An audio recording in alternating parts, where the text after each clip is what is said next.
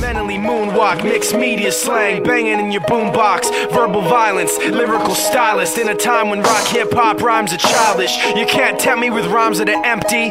Rapping to a beat doesn't make you an MC. With your lack of skill and facility, you're killing me. And a DJ in the group just for credibility.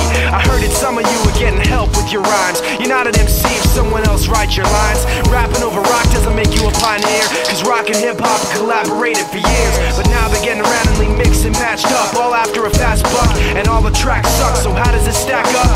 None of it's real. You wanna be an MC, you gotta study the skill. Who can rock a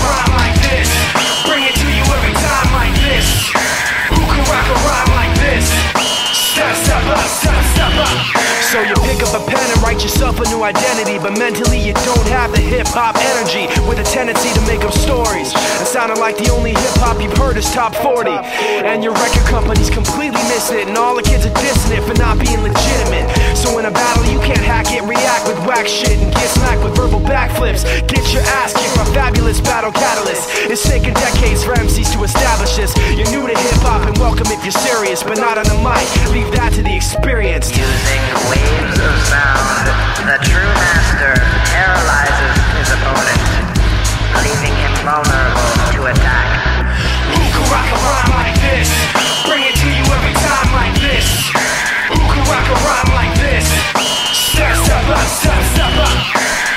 rock a rhyme like this?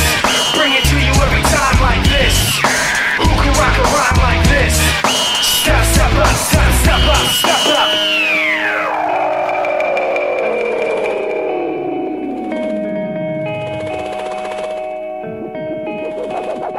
We'll be right back.